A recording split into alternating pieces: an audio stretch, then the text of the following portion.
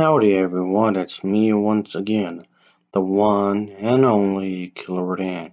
And today, as you can see, I'm bringing you yet another episode of Lost Cinema films that were never made. They were meant to, but for whatever reason, they weren't. Just goes to show you, just because you have an idea doesn't necessarily mean everything can be planned out. Even if you are, even if you have a project, even if you have a trailer out, even if you have concept art done, even if you have everything together, even if you have the entire crew, that doesn't necessarily mean that the studio won't put a plug. So this is actually fairly common, more common than you actually think. So I'm digging into the kaiju genre, and for this project here, there's not a whole lot to be known about this really. So excuse some of it if it's is if it's really vague. So it's gonna be Godzilla versus a bio monster. So yeah, so we're go with this kind of approach. This opponent is gonna be, of course, pretty be pretty strong. Of course, a bio engineered monster. Um, but let's just say, yeah, this was definitely designed to be like a modern day version of Frankenstein's monster, I guess you would say that I would have like pretty much G cells, I mean improved G cells. The G cells being the thing that came from Godzilla himself. So it's like another version of him in a sense, but modified into this kind of a thing. And um, making his um, skin and whatnot really resistant, of course. So yeah, like a humanoid monster kind of a thing. And uh, it was supposed to be um, end up in a kind of a creature shape shifting and whatnot. So yeah, pretty creative there. But it was going to be released in 1995. So yeah, it was going to be one of the final films in the Heisei series. Yep, it's to take place during that period of time, folks. And as I mentioned before, this is definitely one of my favorite time period of Godzilla films. I was supposed to ignore all the films except the first one. So yeah, this uh, kind of idea uh, was, of course, developed by this one individual who was supposed to be a writer and some sort of animator and whatnot. And this individual actually did something for video games. And yeah, was actually in the art department when it comes to this kind of video game, of course. I never played it myself, just saying. But the individual was also a writer for the final entry of the Godzilla series, which was actually made. But yeah. Yeah, that was actually made. Whereas this one was going to be potentially one of the final entries of the Godzilla series, as I mentioned a moment ago. The story for this film was going to be centered around the idea that this thing was created as an attempt in order to eliminate Godzilla once and for all this colossal biomonster would set out to terminate its target, the two behemoths would eventually clash, of course. And in the final act of the story, uh, the grand finale was going to center around that. This would be considered as a double suicide. So yeah, it was going to be pretty chaotic, I guess you can say.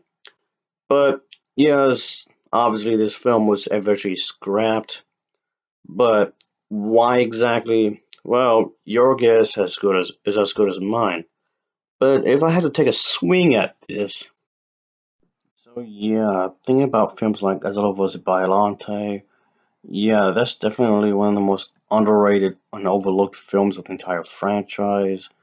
Yeah, and um, yeah, even Godzilla vs. Space, Godzilla wasn't looked all, upon all that favorably either.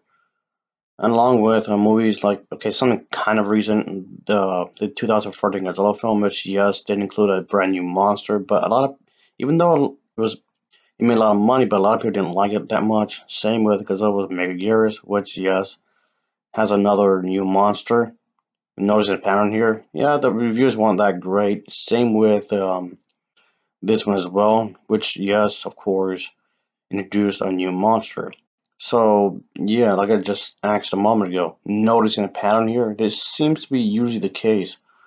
And but yeah, when it comes to these movies, basically Uh, that's my educated guess anyway. But it does make me wonder what could have been.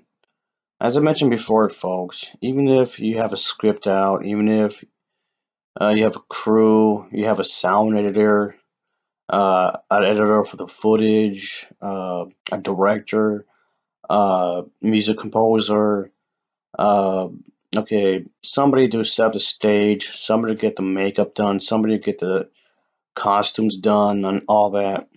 You know, you need you have everything done. You have to everything set to go, and that doesn't mean that the they won't put the plug. Just unfortunately, this kind of thing does happen quite often, like we were saying earlier, folks. So it's just unfortunate this kind of thing does happen, and just unfortunately, unfortunate. It just yeah, maybe it was could have been a good movie and whatnot. So it just leave you a lot to wonder, especially considering the fact the original Godzilla creator is this guy, folks.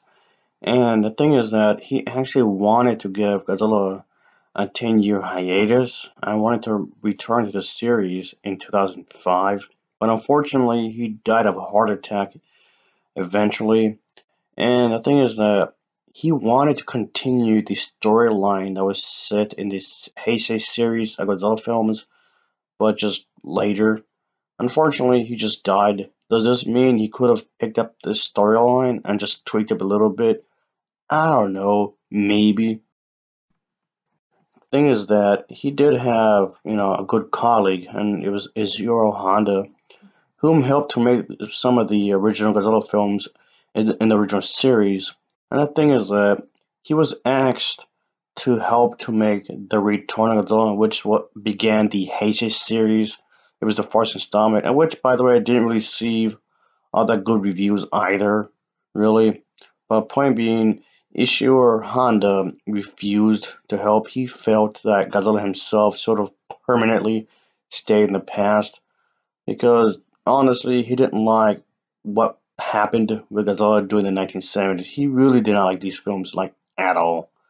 So it just leaves you to wonder what could have been even even more. Makes you wonder even further, I guess you can say. But yeah, of course, having creative differences is actually pretty common in the film industry, which just can plague problems in your project. Not that I'm trying to discourage anybody from making movies or video games or comics or whatever. I'm just pointing that out. It just these things happen, unfortunately. But yeah, folks. Um, as always, thanks for watching and take care. Until next time, see ya. Oh yeah, later.